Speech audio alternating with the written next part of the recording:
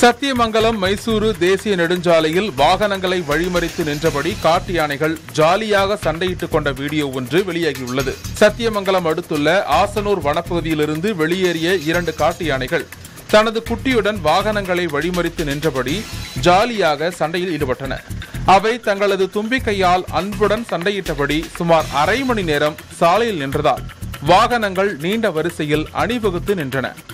பின்னர் யானைகள் வனப்பகுதிக்குள் சென்றதை தொடர்ந்து வாகனங்கள் புறப்பட்டு சென்றன. சாலையின் நடுவே காட்டு யானைகள் ஜாலியாக விளையாடிய காட்சியை வாகன ஓட்டிகள் கண்டு ரசித்தனர் என்பது குறிப்பிடத்தக்கது.